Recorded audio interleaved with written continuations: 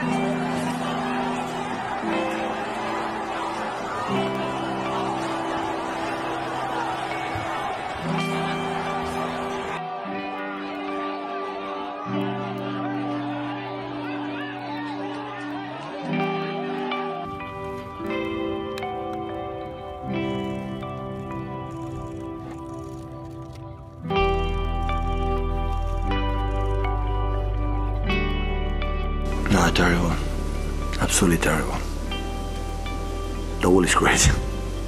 What happened here close in two, three hours, you know? Looks like Ukraine doesn't exist anymore or Russia doesn't exist anymore, so you have to go to Indonesia unfortunately, so the best thought for the families and everything, so Yeah, I, I have seen. Yeah, it's a really disaster, clear, and we're really sad about it. And our thoughts are know, with all the persons, all the families, and, and the people from Indonesia.